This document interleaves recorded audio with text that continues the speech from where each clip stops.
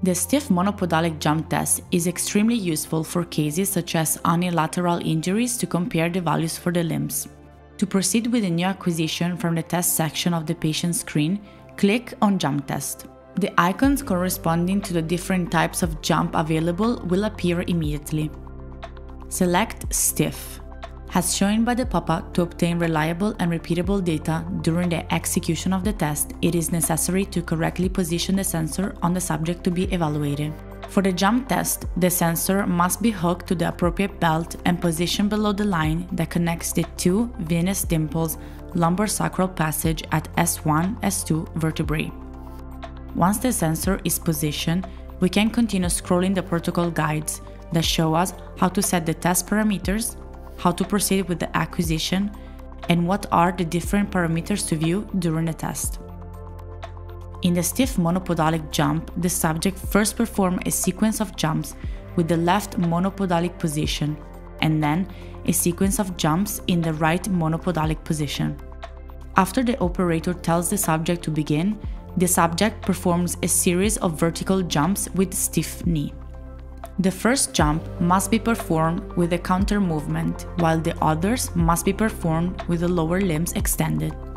Before starting the acquisition from the central ring, it is necessary to select whether we want to perform a monopodalic or bipodalic jump. In this example, we will select the monopodalic option. We're then asked to indicate if the subject is carrying any additional weight during the test. In this case, we select No. Finally, indicate which parameter of jump we want to view in real time during the test. Select the high in this example. Before starting the acquisition, for the test result to be considered reliable, it is necessary to explain to the subject how to perform the test. Once the subject is ready, start the acquisition by clicking on REC. Perform the left monopodalic jump first. During the stabilization phase, the subject must remain still until the stabilization ring disappears and the test begins. During the acquisition, the jump parameter chosen in the preparation phase will be displayed in the central ring. When the subject has performed the desired number of jumps, select Stop. Then, perform the right monopodalic jump. Again, during the stabilization phase, the subject must remain still until the stabilization ring disappear and the test begin. During the acquisition, the jump parameter chosen in the preparation phase will be displayed in the central ring.